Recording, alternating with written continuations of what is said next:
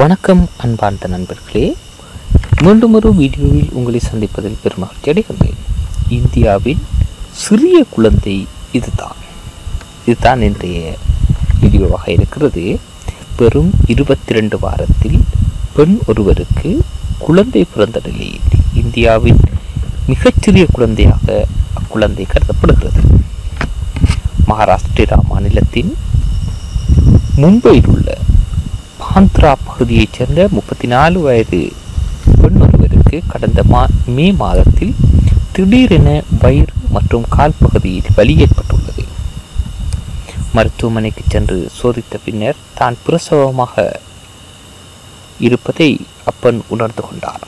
பின்னர் வெகு விரைவில் இருபத்தி ரெண்டு வார பிரசவத்தில் அவருக்கு ஆண் குழந்தை ஒன்று பிறந்தது. குழந்தைக்கு நிர்வான் என பெயர் வைத்தனர்.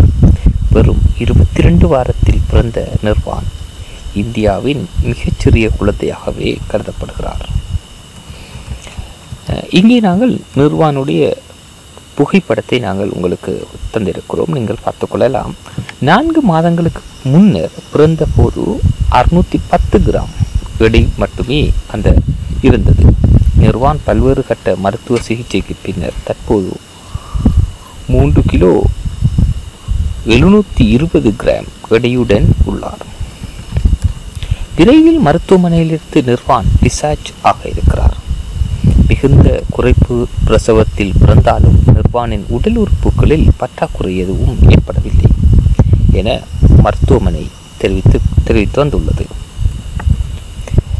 நிர்வான் பிறந்த ப பிறந்த மருத்துவமனையில் மருத்துவர் கூறுகையில் இருபத்தி ரெண்டு வாரத்தில் பிறந்த பிறந்துள்ளது. மற்ற குறைப்பிரசவ குழந்தைகளுக்கு நம்பிக்கை அளிக்கக்கூடியதாகவும் உள்ளது என்று கூறியிருக்கிறார். நிர்வான் தாய் கூறுகையில் எங்களுக்கு நேரமே இல்லாத நிலையில் எல்லாமே திடீரென நடந்துவிட்டது என்று தெரிவித்திருக்கிறார். இது போன்ற வீடியோக்களை நீங்கள் தொடர்ந்தும் கண்டுகளிப்பதற்கு எங்களுடைய சேனலை நீங்கள் சப்ஸ்கிரைப் செய்து கொள்ளுங்கள். நன்றி வணக்கம்.